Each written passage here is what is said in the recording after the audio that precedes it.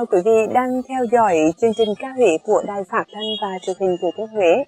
Thưa quý vị, từ bao đời nay, những khúc ru nhẹ nhàng, ngọt ngào mà sâu lắng của bà của mẹ đã trở nên gần gũi, thân thương đối với mỗi người con Việt Nam. Được nằm tròn trong vòng tay yêu thương và nghe lời ru của mẹ, dường như cũng chính là khoảng thời gian mà trẻ thơ hưởng sự bình an tròn vẹn nhất. Để rồi khi lớn khôn, có lúc ta lại thể cùng cao nhớ và mong được nghe lại những lời ru. Và có lẽ đó là những kỷ niệm sâu đậm, trở thành ấn tượng bền chặt, khó có thể phai mờ trong suốt cuộc đời của mỗi người. Trong chương trình hôm nay, thì Trang thân mời quý vị cùng đến với những khúc dân ca Huế, ngọt ngào tình cảm bao la của người mẹ, cùng những tiếng ru đã hàng sâu trong ký ức tuổi thơ của mỗi người.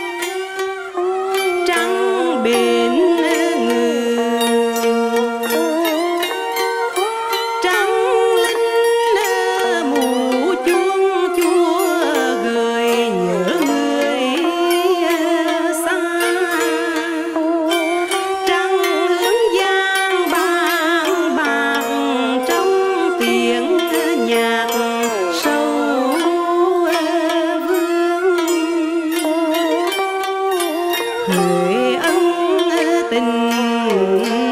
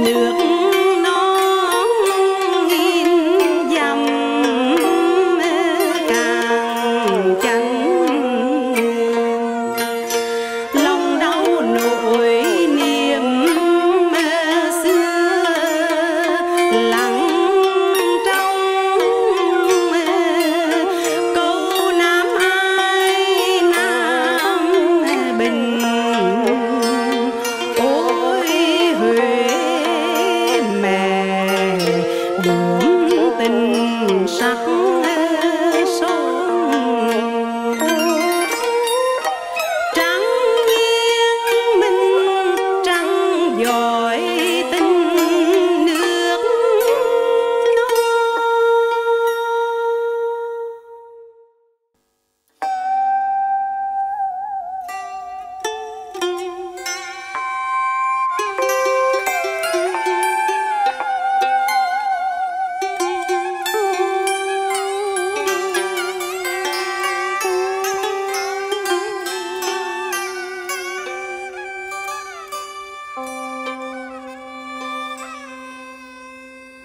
tình nặng nghĩa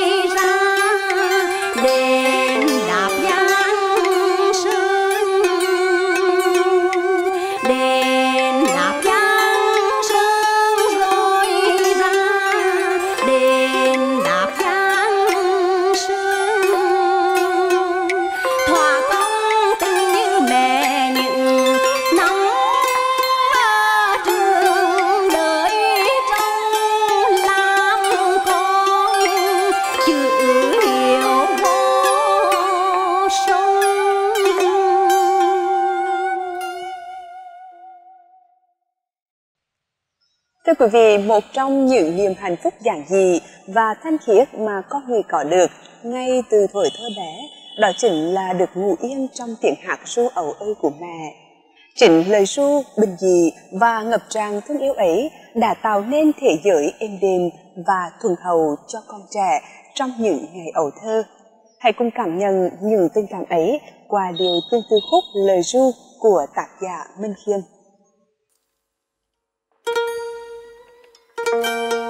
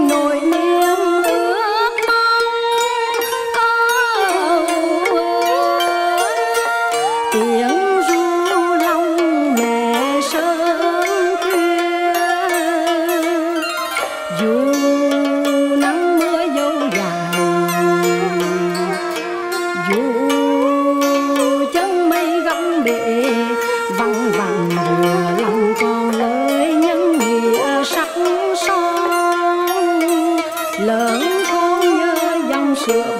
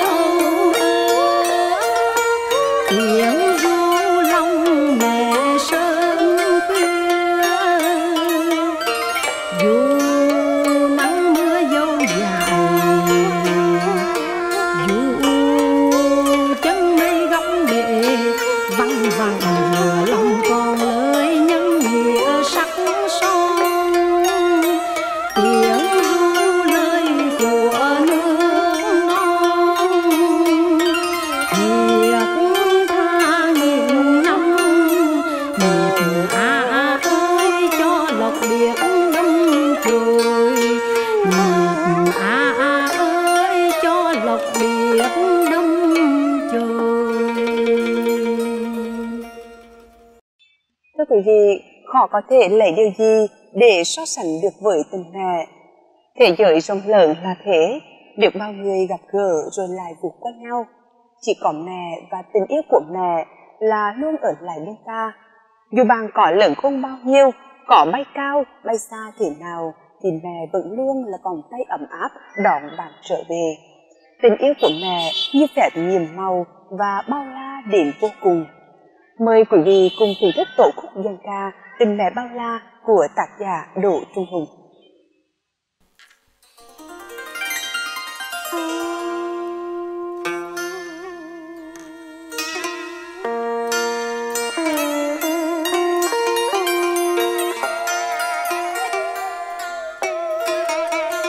tiếng ru của mẹ thủa nào, như con mãi mãi ngọt ngào trong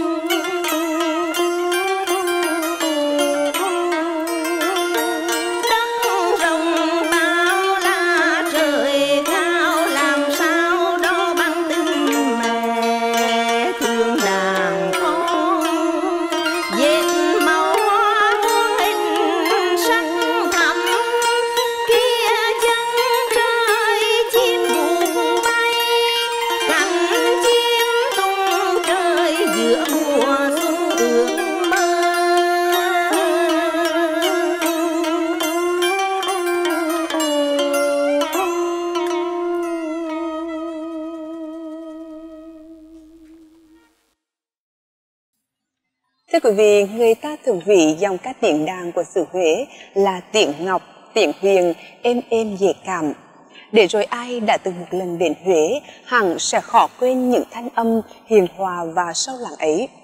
Cũng chính từ những âm sắc lúc du dương, lúc thảnh thót diệu kỳ, chữa trang tình từ, hòa với tiếng nhịp phách nhạc khoang ấy, đã khiến người nghe phải chạnh lòng thương nhớ. Và hy vọng rằng chương trình hôm nay đã đưa quý vị trở về với những cảm xúc ngọt ngào, thuở ẩu thơ trong hình ảnh quê hương, trong lời ru của mẹ. Cảm ơn sự quan tâm theo dõi của quý vị và các bạn. Xin chào và hẹn gặp lại trong những chương trình lần sau.